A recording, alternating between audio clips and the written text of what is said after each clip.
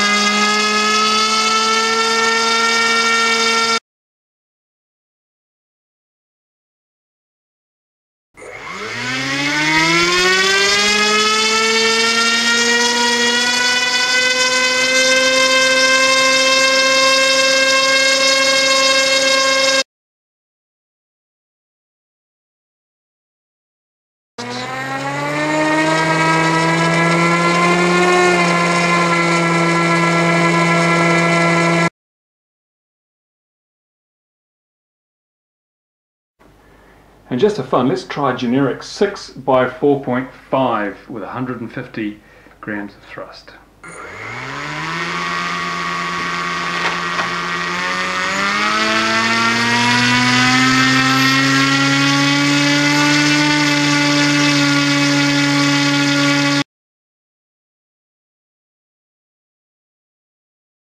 Well, we learned some pretty interesting stuff from those tests. I'm glad people suggested them.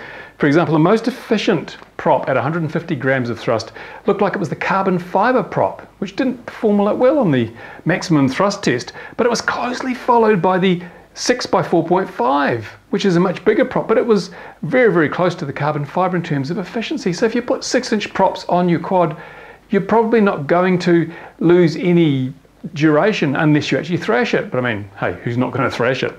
Um, again, as expected, the bullnose props sort of worked out the worst there. They were quite a bit more, well, you know, 38 watts roughly versus say 33 for the Gemfan 5.3s. And the Gemfan 5.4s, they chewed a bit more power. The HQ53 was interesting because it was actually right up there, 36 watts. That's a lot of power, so it's not a very efficient prop, the HQ5x3. Looks like the Gemfans, the little bendy plastic Gemfans are still pretty damn good, but if you want maximum flight times, you're gonna go with the carbons. Hey, excellent.